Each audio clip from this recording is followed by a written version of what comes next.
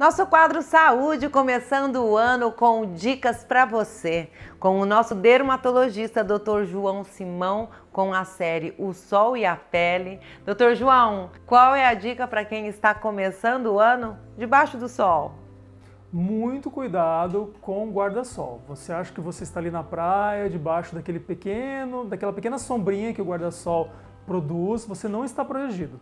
Primeiro, tem a qualidade do tecido do guarda-sol, que pode não ser ideal, e aí passar a radiação pelo tecido do guarda-sol e pegar você lá embaixo, e a radiação que reflete na areia, que é muito branca, então vem aquela radiação para você de pelo menos 25% do sol que está ali no ambiente. Então, debaixo do guarda-sol você não está protegido, a radiação pode pegar você.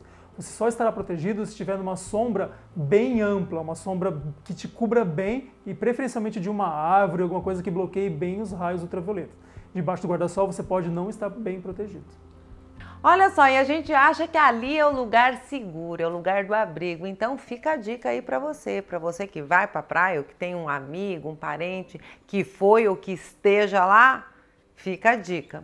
Doutor João, muito obrigada, não só pela dica de hoje, mas por todas as dicas ao longo de todo o ano de 2021 que passou e que vem aí um 2022 com muitas dicas que você possa estar aqui conosco. Agradeço imensamente a sua presença aqui para trazer dicas tão importantes, tão valiosas para o nosso quadro saúde. Um beijo grande para você, para sua equipe que trabalha com excelência e que venham aí muitas e muitas dicas para 2022, né?